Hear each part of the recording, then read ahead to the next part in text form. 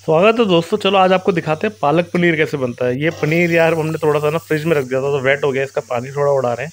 पालक को हमने किया ग्राइंड मिक्सी में नॉर्मल घर में जैसे हम करते हैं, और बस फिर पनीर को फ्राई कर लेंगे पालक में डालने के लिए। तो बस हम क्या कर रहे हैं प्याज को थोड़ा शैलो फ्राई कर रहे हैं। इसमें थोड़ा टमाटर, प्याज वगैरह का एक मसाला हमने बनाया है, जिसको हम डालेंगे पालक के अंदर। बहुत ही नॉर्मल तरीका है, पालक को मिक्स कर दिया है वापस।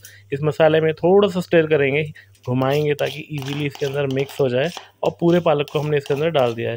ठीक है? बस अब इसको क्या करना है? आपको इसके अंदर थोड़ा सा पनीर डालना है, लेकिन उससे पहले ये जितना भी पालक इस मसाले के अंदर डाला गया है, जो ग्राइंड किया हुआ पालक है, इसको हम स्टेर करेंगे ताकि इवनली हर जगह वो मसाला मिक्स हो जाए और इसका कलर जब चेंज होने लग जाए, बिल्कुल अच्छी तरह की यूनिफॉर्मली मिक्स हो जाए तो हम इसमें अब धीरे धीरे पनीर डालेंगे।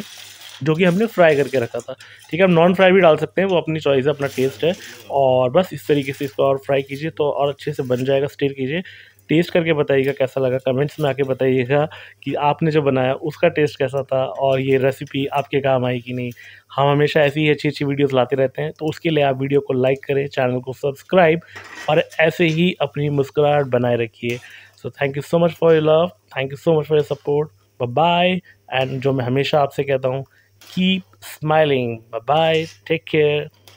Sayonara Shabba. Like and subscribe. Bye.